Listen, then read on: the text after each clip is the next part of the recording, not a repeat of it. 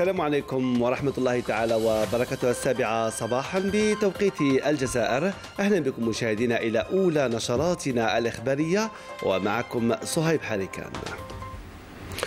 بداية أقام رئيس الجمهورية السيد عبد المجيد تبون مساء أمس بقصر الشعب بالعاصمة الجزائر أقام مأدبة عشاء على شرف رئيس الجمهورية الإسلامية الموريتانية السيد محمد ولد الشيخ الغزواني والوفد المرافق له.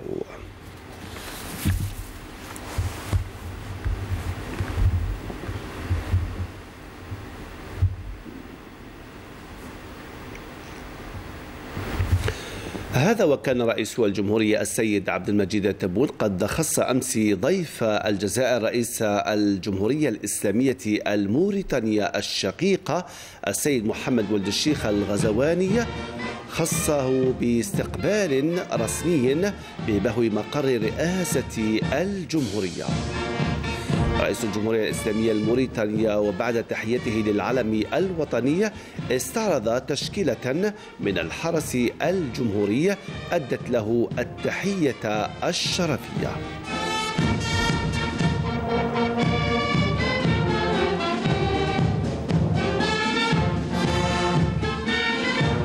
ليصافح بعدها السيد رئيس الجمهورية أخاه الرئيس الموريتاني ويأخذا صورة تذكارية للصحافة الوطنية والدولية. وذلك قبل أن يرافق رئيس الجمهورية السيد عبد المجيد تبون ضيف الجزائر رئيس الجمهورية الإسلامية الموريتانية الشقيق السيد محمد ولد الشيخ الغزواني إلى مقر رئاسة الجمهورية. بعدها أجرى رئيس الجمهورية السيد عبد المجيد تبون أجرى محادثات على انفراد مع نظيره رئيس الجمهورية الإسلامية الموريتانية الشقيقة السيد محمد ولد الشيخ الغزواني.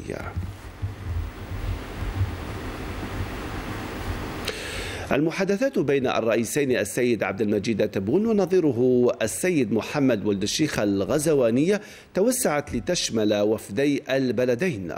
وقد شارك في هذه المحادثات التي جرت بمقر رئاسة الجمهورية عن الجانب الجزائري وزير الداخلية والجماعات المحلية والتهيئة العمرانية كمال بلجود ووزير الطاقة والمناجم محمد عرقاب ووزير الصحة عبد الرحمن بن بوزيد وزير التعليم العالي والبحث العلمي عبد الباقي بن زيان ووزير التجارة وترقية الصادرات كمال رزيق ووزير التكوين والتعليم المهنيين ياسين ميرابي والوزير المنتدب لدى الوزير الأول المكلف بالمؤسسات المصغرة نسيم ضيافات.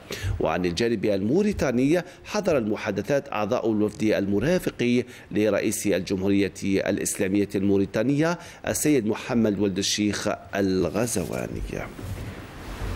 هذا وأشرف السيد رئيس الجمهورية ونظيره الموريتاني على مراسم التوقيع على خمس اتفاقات تعاون ومذكرات تفاهم تخص قطاعات التعليم العالي والبحث العلمي الصحة التكوين والتعليم المهنيين وقطاع المؤسسات المصغرة. اولا اتفاقية تعاون في مجال التعليم العالي والبحث العلمي. الموقعون عن الجانب الجزائري السيد عبد الباقي بن زيان وزير التعليم العالي والبحث العلمي. عن الجانب الموريتاني السيدة آمال سيدي ولد الشيخ عبد الله وزيرة التعليم العالي والبحث العلمي.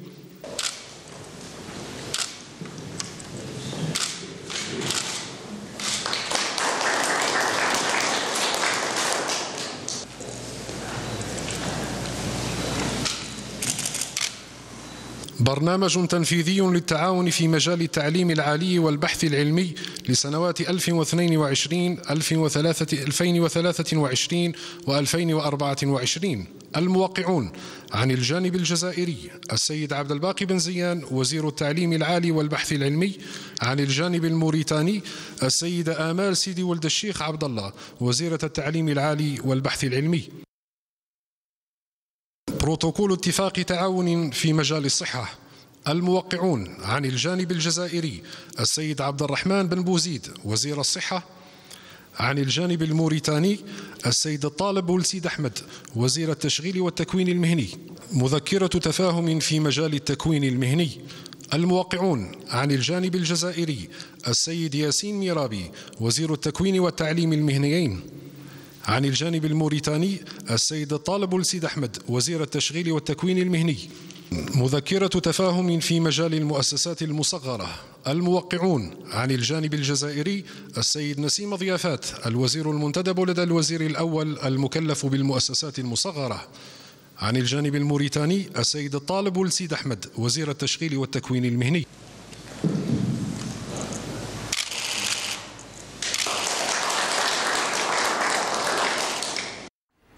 وفي تصريح صحفي عقب المحادثات أكد رئيس الجمهورية السيد عبد المجيد تبون مع نظيره الموريتاني السيد محمد ولد الشيخ الغزواني أكدا أن العلاقات بين الجزائر وموريتانيا عريقة وتعرف تطورا لافتا ازدادت وتيرته في المدة الأخيرة بفتح المعبر الحدودي البري بين البلدين.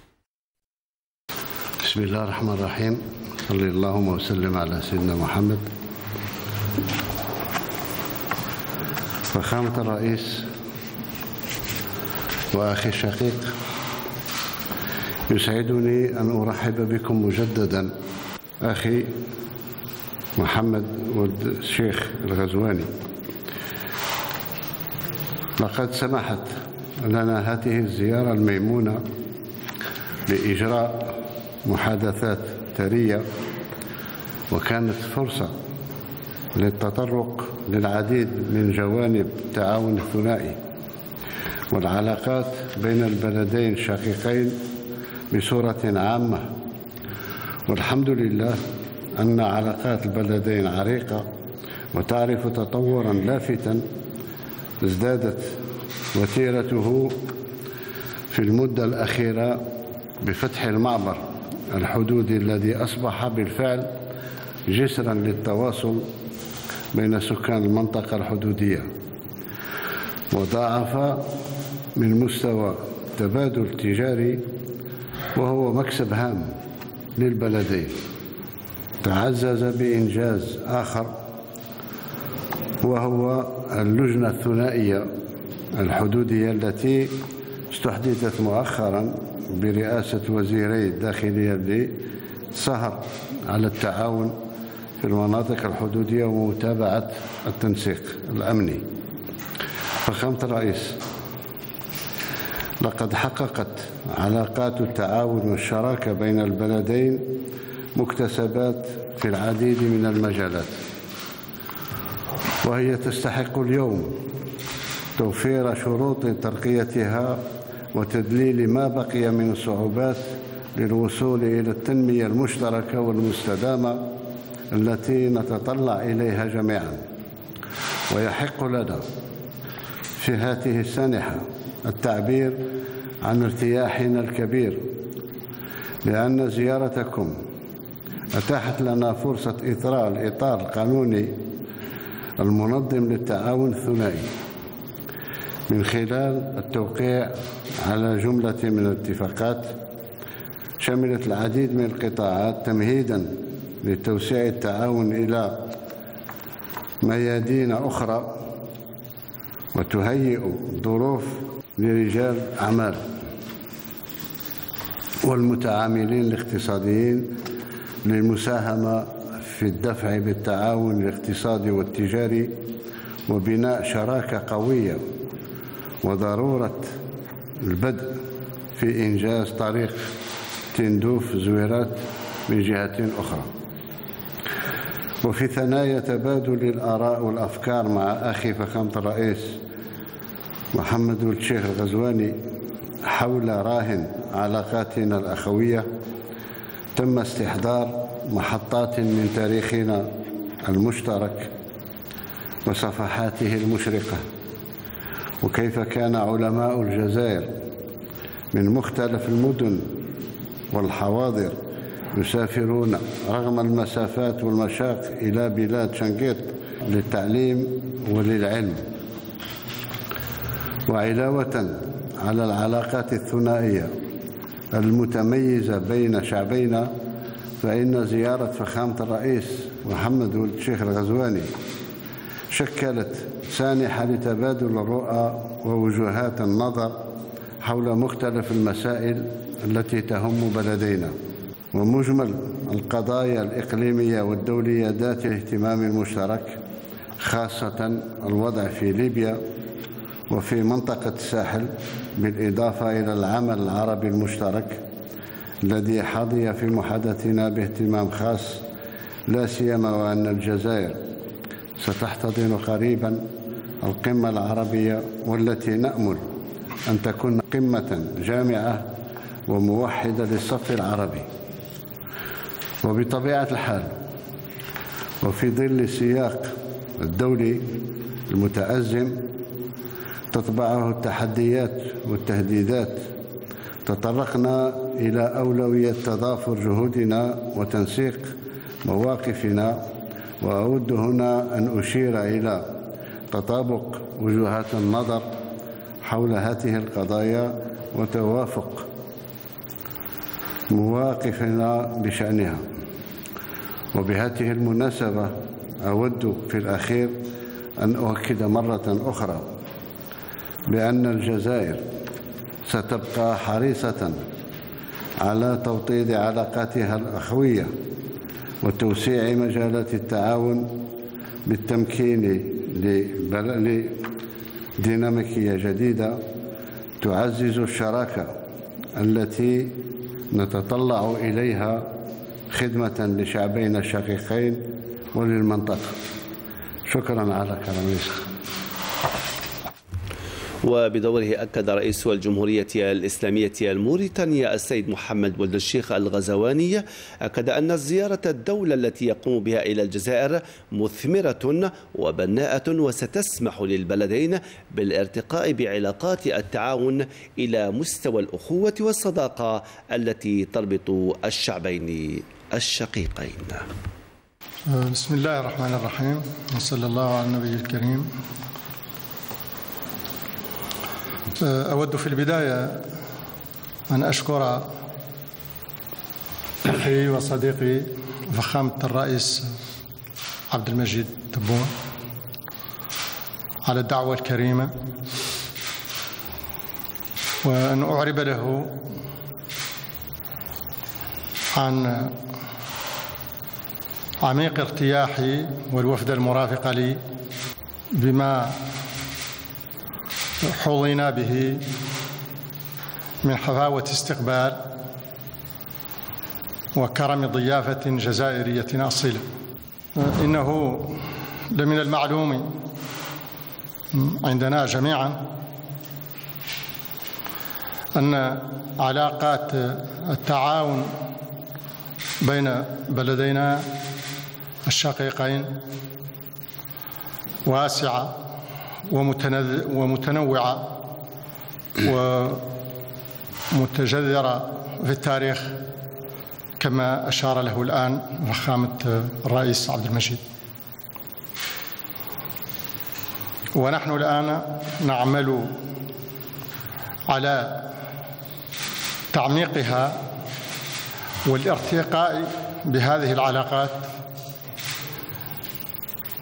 لتكون على مستوى الأخوة والصداقة التي تربط شعبين الشقيقين. لقد شكلت هذه الزيارة فرصة لترسيخ علاقات التعاون هذه. وقد تجلى ذلك في توقيع العديد من الاتفاقيات آه، التي حضرناها قبل قليل في مجالات مهمة آه، مثل التعليم العالي والصحة آه، والتكوين المهني والتشغيل.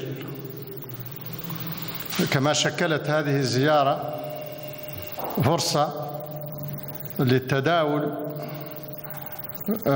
حول القضايا الثنائية وحول أبرز القضايا الدولية والإقليمية التي تهم بلدينا. وإجمالا فقد كانت هذه الزيارة زيارة مثمرة وبناء جدد جددنا خلالها عزمنا المشترك على مضاعفة الجهود سويا. من أجل الدفع بالتعاون بين بلدينا إلى مستويات آه، أكثر تنوعا وأكثر رسوخا. آه، خدمة لمصلحة شعبينا الشقيقين ومغربنا العربي الكبير وأمتنا الإسلامية عموما. شكرا والسلام عليكم.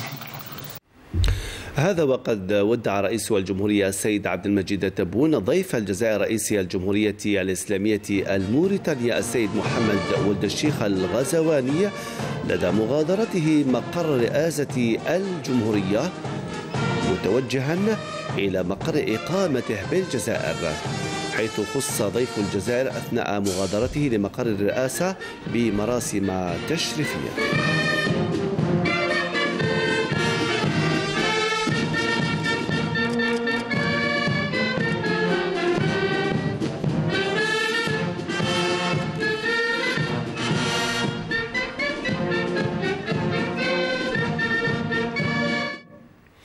التعاون الجزائري الموريتاني دائما تم أمس بمقر وزارة الأشغال العمومية التوقيع على اتفاقية تعاون بين البلدين في مجال المنشآت والأشغال العمومية. اتفاقية التعاون التي وقعها وزير الأشغال العمومية كمال ناصري مع وزير التجهيز والنقل الموريتاني محمد أحمد أم حميد تتضمن إنجاز طريق بري يربط بين مدينة تندوف وأزوير التطويرات تعزيزا للتبادلات التجارية والاقتصادية بين البلدين. في موضوع آخر وفي خرجة دعائية بعيدة عن المعطيات والمؤشرات الاقتصادية الحقيقية حاد البنك العالمي عن إطاره المؤسساتي فهاجم في آخر تقرير له الجزائر برعونة ممارسا أبشع صور الدعاية المغرضة بتشويه الواقع الاقتصادي للبلاد خدمة لأجندات معادية متنبئا بحدوث زلزال مدمر وآفاق قاتمة للبلاد. عبد الله بوزاري والمزيد. عن أي زلزال يتحدث البنك الدولي في تقريره الذي ظهر أقرب إلى الدعاية منه إلى الاقتصاد؟ أية منطلقات واقعية بنى البنك الدولي عليها تقريره الأخير حول الوضع الاقتصادي للجزائر؟ هل استند هذا البنك كمؤسسة دولية مسؤولة على التحليلات الموضوعية المبنية على مؤشرات موثوقة ذات مصداقية؟ الأسئلة كثيرة وعلامات الاستفهام تطرح حول خلفيات هذا التقرير الدعائي المجحف في حق الجزائر ذلك أن ما جاء مثلا في آخر تقرير لصندوق النقد الدولي كمؤسسة دولية مالية رائدة يدحض بشكل قطعي جميع هذه الأراجيف لأنه لامس الواقع دون مبالغة ولا افتراء ولا تضخيم. صحيح أن جائحة كورونا وضعت جميع الاقتصادات العالمية في الزاوية لكن الجزائر تمكنت من المرور بسلام من الضيق المالي الذي تعيشه كثير من اقتصادات الدول النامية التي تعيش حالة اختناق حقيقية. استقرار الاقتصاد الجزائري خلال هذه الفترة الحرجة راجع إلى الإجراءات الاستثنائية التي اتخذتها السلطات العليا للبلاد. إجراءات تنطلق من وضعية مريحة بفضل انعدام المديونية الخارجية وتتأكد حالة التناقض التي طبعت تقرير البنك الدولي حين تكشف توقعات خبراء صندوق النقد الدولي عن انتعاشة مستمرة للاقتصاد الجزائري من خلال الانخراط في نموذج مستدام والتوجه نحو تنويع مصادر الدخل ويتضح أن البنك الدولي تغاضى أيضا عن ذكر التحديات التي رفعتها الجزائر في ظل مرحلة اقتصادية حرجة ميزها تفشي جائحة كورونا بتحقيقها لأول مرة فائضا بقيمة واحد مليار دولار أمريكي في الميزان التجاري. ويأتي هذا التقرير كمسعى لتشويه صورة الجزائر وإدخال الشك في نفوس الجزائريين لا سيما بعد صور الوحدة والتآخي التي شهدها الوطن مؤخرا عقب تتويج المنتخب الوطني لكرة القدم بكأس العربي للفيفا. من جهته صنف برنامج الأغذية العالمي التابع للأمم المتحدة الجزائر صنفها الأولى إفريقيا في مجال الأمن الغذائي وفي دراسته الأخيرة حول الفقر التي نشرت مؤخرا على موقعه الإلكتروني. صنف برنامج الأغذية العالمي التابع للأمم المتحدة الجزائر في فئة البلدان التي تقل فيها نسبة الأشخاص الذين يعانون من سوء التغذية عن 2.5 بالمئة من العدد الإجمالي للسكان. وذلك خلال الفترة الممتدة بين سنة 2018 و2020 حيث يعد البلد الوحيد في إفريقيا الذي لم يتعد هذه العتبة. في الانشغال الصحي الآن وفي تطورات الوضعية الوبائية بالبلاد بالجزائر تم تسجيل 335 إصابة جديدة بكوفيد 19 وثمان وفيات خلال ال 24 ساعة الأخيرة فيما تمثل 219 مريضا للشفاء وهذا حسب بيان لوزارة الصحة. دوليا وفي المغرب هنأت الجبهة المغربية لدعم فلسطين وضد التطبيع هنأت فريقها القانونية على نجاح المحاكمة الرمزية ضد الدولة المغربية والمطبعين التي نظمتها يوم السبت الماضي بالعاصمة الرباط والتي قضت فيها بإدانة الحكومة المغربية على اتفاقها مع مجرمي الحرب والتطبيع مع عصابة إجرامية مطالبة إياها بإلغاء ذات القرار وكل ما ترتب عنه من اتفاقيات وتقديم اعتذار علني للشعب المغربي أمام البرلمان. كشفت المنظمة العالمية للنزاهة المالية Global Financial Integrity في آخر تقاريرها عن تهريب 600 مليار درهم من المغرب خلال عشرية 2009-2018 عبر فواتير وهمية.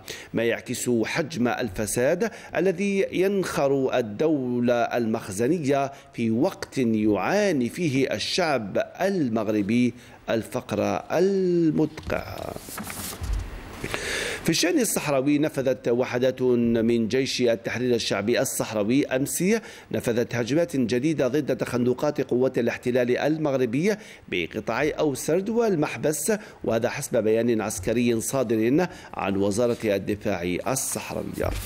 أخيرا وفي الرياضة تعرف أمس ممثلا الكرة الجزائرية في منافسة رابطة أبطال إفريقيا على منافسيهم حيث أسفلت القرعة التي جرت أمس بالقاهرة عن تواجد وفاق سطيف في المجموعة الثانية رفقة الرجاء البيضاوي المغربي وحورية كوناكري الغيني وأمازولو الجنوب إفريقي في حين يوجد شباب بلوزداد في المجموعة الثالثة رفقة الترجي والنجم الساحلي الساحلي التونسيين وغوانغ جالاكسي البوستواني وفي كأس الكونفدرالية الإفريقية سيكون ممثلا الجزائر كل من شبيبة الساورة وشبيبة القبائل في المجموعة الثانية رفقة أورلاندو بايرتس الجنوب الإفريقي والاتحاد الليبي.